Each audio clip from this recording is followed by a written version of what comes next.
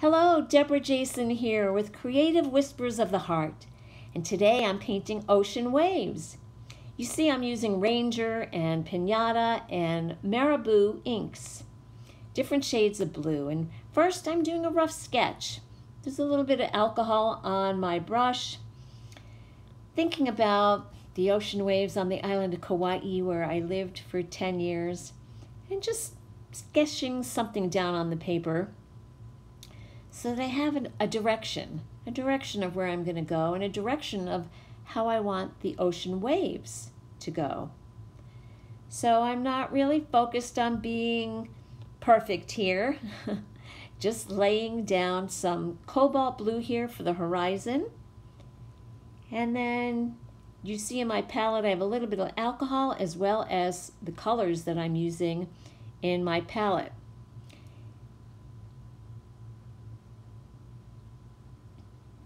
Filling in some of the ocean.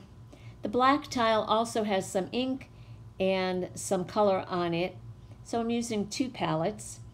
I'm going in the motion of the waves using the cobalt blue.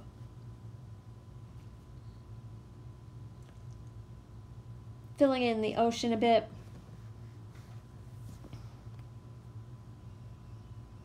And painting real loosely, as you can see filling in a bit of the skyline. And now I'm using alcohol and just pouring it and letting it drip. Letting it blend in and using a cotton makeup pad to get my skyline and my horizon blended at the top of the photo. Excuse me, not a photo, the painting.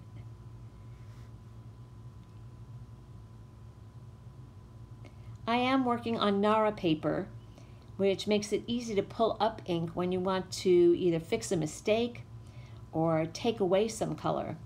Now I'm adding a little bit of that Baja blue and blending it in with the cobalt blue. Again, kind of going in the motion of the ocean. Filling in that big wave that I have there.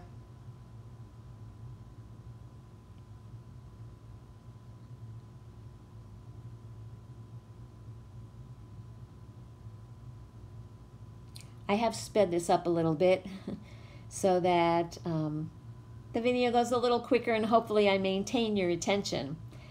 Going to take a little bit more blue here and start filling in. This isn't the sky, this is part of the ocean. And blending some of the color in together with the brush.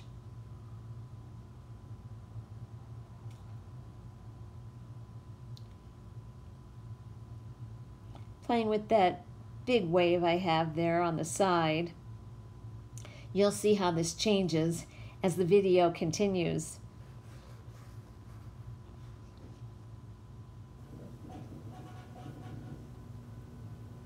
You'll see I use several tools. I use a brush, I use Q-tips, I use the cotton makeup pads. Blending some colors now with that pad getting some more of that ocean filled in.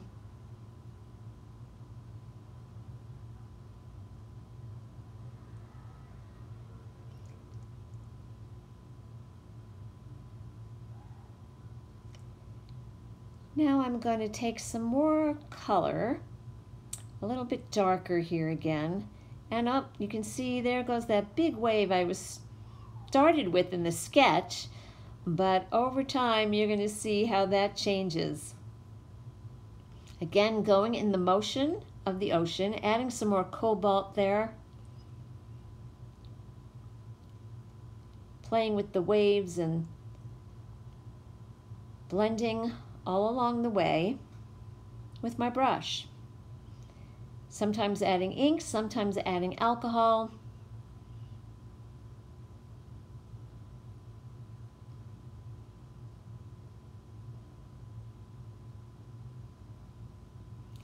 When you see my hand hesitate, it's usually because I'm thinking about what's next. So now I go back up to the horizon and add some alcohol and just pour it and let it blend,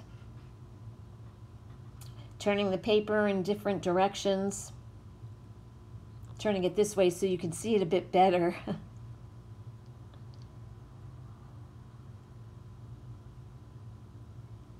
and then I'm going to blend it some more with that cotton pad.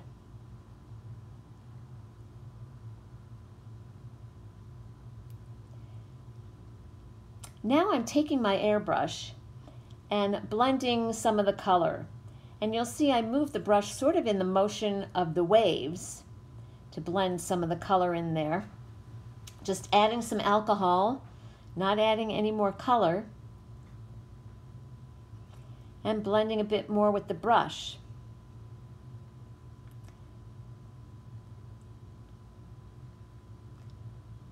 Trying to get those waves a little higher there.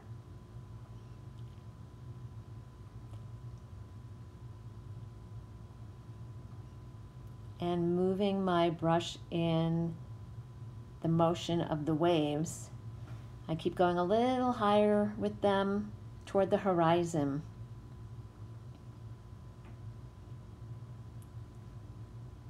Now I decide to uh, take that cotton pad and there goes that wave I initially started with when I sketched. That's the, again, the beauty of alcohol inks. You can't really make a mistake. When you think you have, you might want to just put the painting aside for a while and go back to it later. But you know, the ocean has variations. It's blue, it's turquoise, it's green, it's white uh, because of the foam. And we'll go into uh, some of the foam here shortly so you can see how I create that.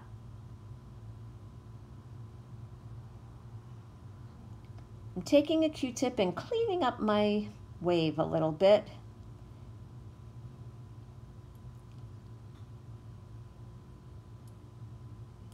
And now I decide I need to use the airbrush a little bit more to blend some of that color where the bigger part of the wave is. Here's where I start adding the foam. These aren't clouds, this is the foam of the ocean.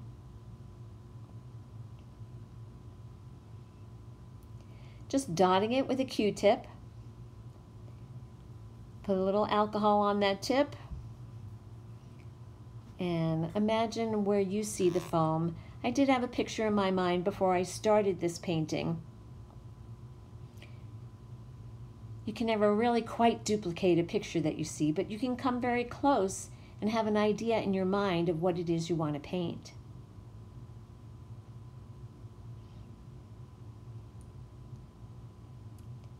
Getting some shading there. Now I decide I need to clean some of that up a little bit. Just using a paper towel.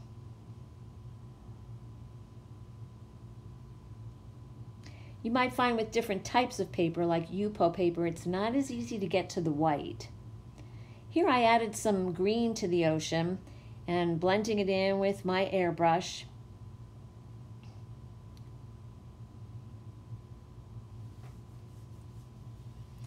Filling in some of the ocean so it all kind of blends.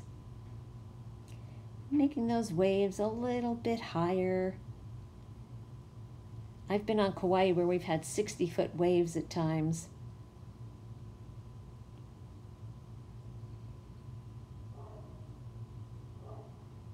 I was very blessed to have lived on the island of Kauai.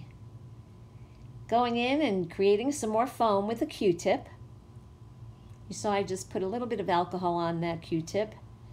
Now I'm going back to my, wait, the beauty of alcohol inks things keep changing. So I'm going back to that horizon with a cotton pad. And now I'm adding a little bit of that green.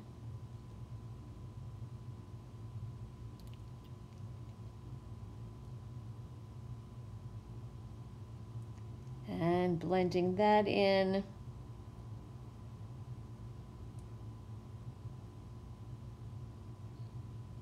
See how it's coming along? Trying to get some light into the waves. You know, they're not always just dark, dark. There's a variation. And getting some more foam at the top of my waves. You'll see I do the foam in a variety of ways. Right now I'm using the Q-tip.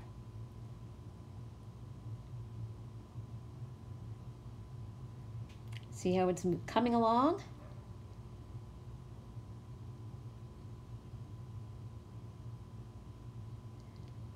I hope you'll watch this video first and then try it for yourself. Maybe watch it and paint along with me.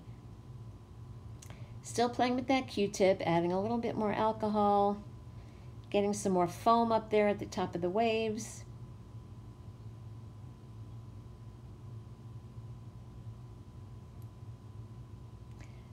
I decide that horizon needs a little bit more color.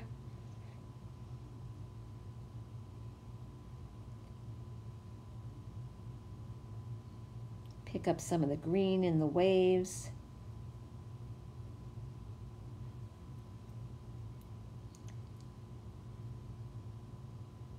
Adding a little bit of a darker green.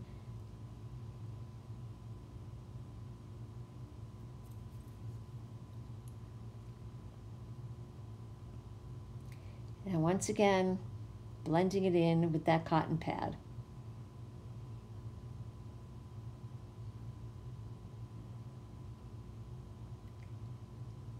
Now I'm going to take this cotton pad and use it to create some foam. With the cotton pad, if you can get a small, the, the drier the cotton pad gets, the tinier some of the dots will become in your foam.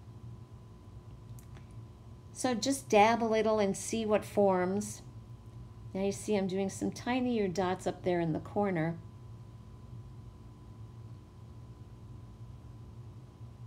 Alcohol inks is kind of a touchy and feel. You look at what you're doing and say, mm, does that feel right? Should I add more? It's always kind of tricky to know when to stop. But here we are. I'm continuing with the foam. You see I'm going back and forth with the Q-tip and the cotton pad till it feels right. Now I'm using a Posca pen, a white Posca pen, to not really outline, but to use dots to sort of define the waves a little bit. Because waves, as I said earlier, aren't just solid color. There's white, there's darkness. See? Isn't that cool? Now I'm using a tiny brush to go back one more time and add some more foam, some tiny, tiny dots to the foam at the horizon at the top of my waves.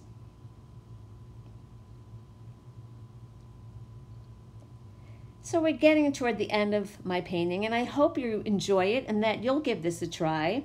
Here are my ocean waves. Please remember to like or comment or share this video. And if you want to be notified of future videos, click on the bell. Thanks for watching.